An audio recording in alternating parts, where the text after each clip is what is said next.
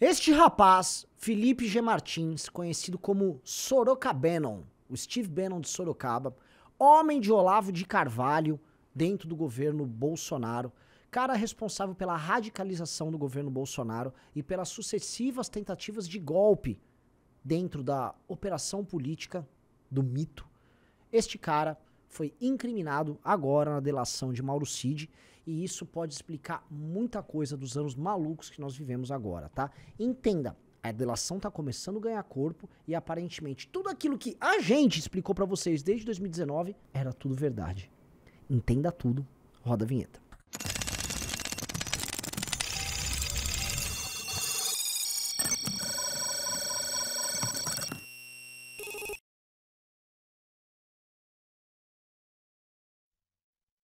Meus amigos, antes de continuar, vamos lá. Congresso do MBL, oitavo Congresso do MBL, o maior evento de política do ano. Sérgio Moro, Pondé, Temer, todos nós do MBL, todos os colunistas da revista Valete e outros nomes estão sendo anunciados. Ah, Cláudio Dantas, meu Deus, Paulo Matias, um evento colossal à sua disposição. Nos aguarde, será muito bom. E eu, obviamente, aguardo vocês. Se você é membro do Clube MBL, tem um descontaço no ingresso. Se você é membro da revista Valete, tá de graça. Pois bem, hoje saiu no Globo e saiu no UOL trechos e detalhes da delação do Mauro Cid, tá? E a delação do Mauro Cid tratou, vamos dizer, nesse material vazado, da trama golpista que envolvia Bolsonaro e que envolvia, vamos dizer, inúmeras figuras do Palácio do Planalto ligadas à turma mais doidinha, tá? Vamos colocar nesses termos. Bolsonaro, após perder as eleições, após o segundo turno das eleições, ele convocou uma reunião com o teor golpista.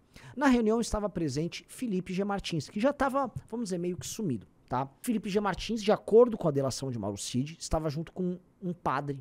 E Felipe G. Martins leva a minuta do que seria o decreto golpista, tá? O decreto teria como fim convocar novas eleições, portanto, cancelando as eleições anteriores e prender o senhor Alexandre de Moraes, que no, naquele momento presidia o TSE, tá? A minuta desse documento foi levada para apreciação do Bolsonaro que depois convocou outras lideranças, especialmente lideranças das Forças Armadas, das três Forças Armadas em si, Marinha, Aeronáutica e Exército, para saber a opinião. De acordo com as matérias, e aparentemente com, a, com as declarações de Mauro a postura de Bolsonaro era errática. Ou, ou, em um momento tentando avançar, outro com medo. O que é demonstrado pelas reações que ele teve após a eleição. Uma hora subia o tom, outra hora ficava em depressão. Uma hora chorava, outra hora aparecia na frente daquele público dele que estava gritando histérico, dizendo que a caneta dele era muito poderosa. Bolsonaro estava tentando articular algo muito difícil e não tinha maioria para isso. Isso a gente sempre falou, ó, o Bolsonaro está tentando obter maioria, mas não consegue. Nós tivemos assim informações e nós temos vídeos do final do ano passado e vídeos do começo desse ano em que nós falávamos o seguinte: olha, o Bolsonaro não conseguiu maioria dos principais nomes do alto comando das Forças Armadas, mas ele está trabalhando para conseguir. E um dos nomes que faziam isso pro Bolsonaro chamava-se Felipe G. Martins. O outro era um general Heleno e ele chegou a colocar nessa trupe muito louca o Hélio Negão e o famoso deputado boladão que quebrou a placa da Marielle, Daniel Silveira, tá? Então ele montou essa trupe muito louca, tá? Lembrando que Daniel Silveira é o mesmo que convidou Marcos Duval para gravar o Alexandre de Moraes, mais ou menos nesse período. E aí o Marcos Duval entrega o Daniel Silveira e o Daniel Silveira ficou, em, vamos dizer, foi preso, né? E tá preso até agora e tá muito encrencado. Ou seja, todas as histórias, todas as side stories que envolviam o golpe, seja a do Marcos Duval, seja a do hacker com a Carla Zambelli, e seja a história central que envolvia aquele documento do Anderson Torres, uh, que falava em derrubada das eleições e um golpe de Estado, todas as histórias estão se cruzando e estão se validando mutuamente demonstrando que elas estavam de pé, tá? Mas o cara que foi, vamos dizer, colocado aqui como uma espécie de articulador ou idealizador desse golpe, que no caso é o Felipe G. Martins, é um cara que precisa fazer uma observação um pouco diferente, tá? O Felipe era o homem do Olavo de Carvalho ali no governo e todo mundo sabia disso. O Felipe, ele logo no começo do mandato do Bolsonaro, ele foi tratando, através de certas tramas que ele foi construindo, de tirar figuras que eles consideravam problemáticas para o avanço dessa agenda golpista. O primeiro cara a ser afastado pela turma do Felipe foi o general Santos Cruz, que é um general que é herói de guerra, é um dos poucos, vamos dizer, comandantes das Forças Armadas, um dos poucos lideranças das Forças Armadas, que realmente foi pro pau, e que realmente pode ostentar aquelas medalhas e ganhar o salário que ganha de forma honrada, e não simplesmente por ter ficado mamando ao redor de uma burocracia. Ele foi afastado porque ele não é um cara que tinha pendor golpista. Tá?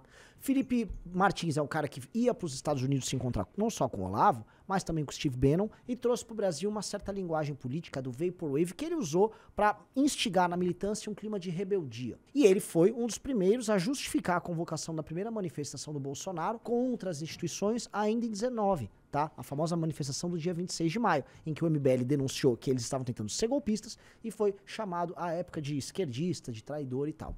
Nós nunca estivemos errados.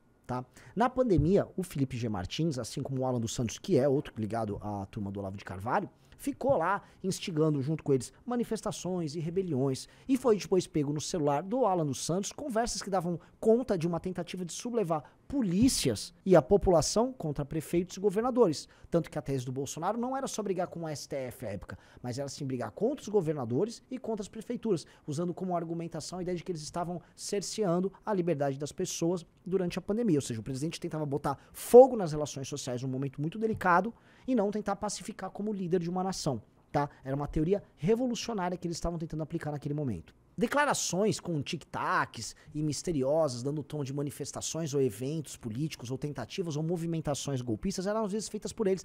Dá uma olhada nessa aqui. Olha só que curioso Felipe G. Martins ali. Outra coisa que o Felipe G. Martins fazia era também organizar ataques virtuais. Ele controlava uma parte importante daquilo que a gente chama de gabinete do ódio, né? E das operações cibernéticas de ataque usando perfis falsos contra opositores. O MBL foi alvo disso, Danilo Gentili foi alvo disso, Nando Moura alvo disso. Dá uma olhada nesse tweet que o Danilo soltou agora.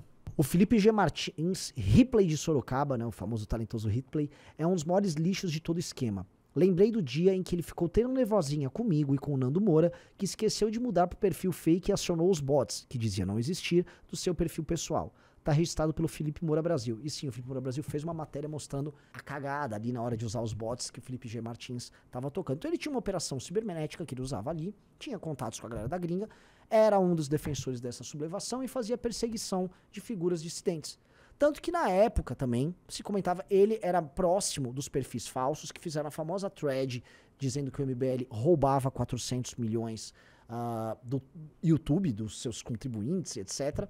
E aí foram montar, foram montar uma operação que prendeu duas pessoas inocentes, que depois foram inocentadas, e que tentou me prender, porque o MBL fazia basicamente oposição ao Bolsonaro, tudo isso através de um promotor, à época profundamente bolsonarista, que não escondia isso, inclusive nas redes sociais. Ou seja, esse cara, tá? É um cara profundamente autoritário que, representando o Olavo, manipulou toda, todo, vamos dizer, aquele universo palaciano do bolsonarismo, porque ele dava com gente burra, ele era mais inteligente que as pessoas ali, então ele entrou na mente do Bananinha, ele entrou na mente do Carluxo e tinha esse papel preponderante, e aí quando a água bateu na bunda, ele foi lá com a minuta golpista dele. A minuta golpista que o Cid está falando, que ele apresentou, é muito similar à minuta golpista do Anderson Torres. Ambas falam em prender opositores, Ali fala na do Anderson Torres, mais diretamente perdeu Alexandre de Moraes e a turma do TSE, mas quando você abre um regime de exceção, você abriu, vamos dizer, as portas para prender qualquer um que se coloque no caminho.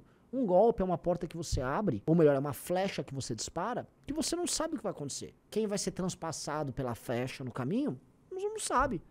Entendeu?